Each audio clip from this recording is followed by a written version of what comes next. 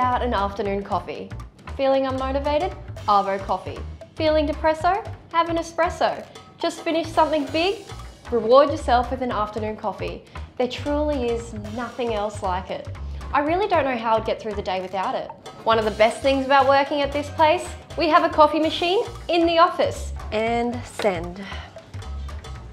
Coffee time.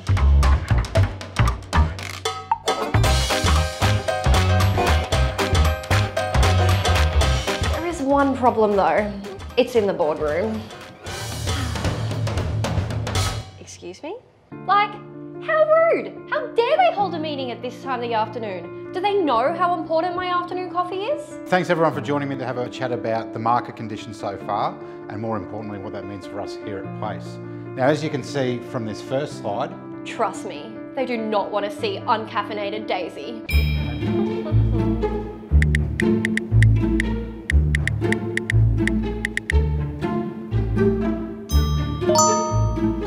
Guys, there's cupcakes in the kitchen.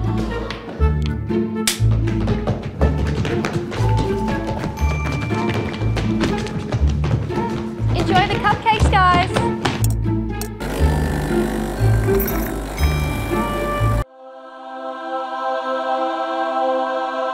Hey, where are the cupcakes?